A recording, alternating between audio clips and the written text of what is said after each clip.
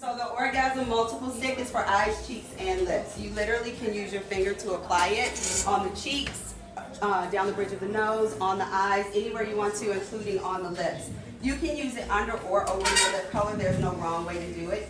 I can actually use my finger or the brush. If you use your finger, it comes out a little bit lighter. Your fingers are your tools, so always go in with your finger. Even if you use your brush, go in with your finger to warm the product up. It makes it look a little bit more like skin when you do that. Try not pulling on the skin too much, but use that. I usually use this as a base first, um, the multiple, and then you can go over it. I even use it as a base on bare skin before I put on foundation, and it gives you a natural highlight to the skin. So using that first, um, folks for me.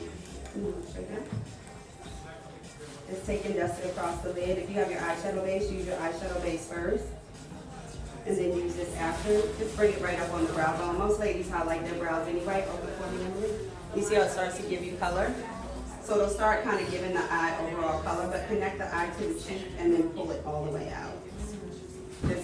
So even when you do your contour color and you're coming down and you're contouring your face, after you contour the cheek, pull it across the eye. Lip gloss, orgasm, um, highlighter, or orgasm, powder blush. Like it comes in so many different forms. So what I'm to do is actually use this first.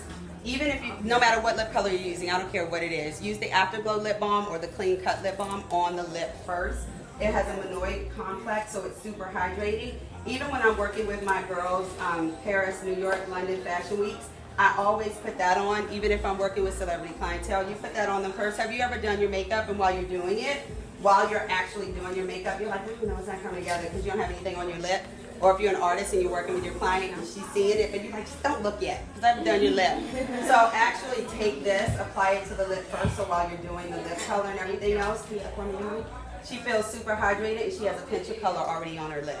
So it starts to kind of pull everything together there. So they love the Afterglow lip balm because what it does is it intensifies the natural color of the lip.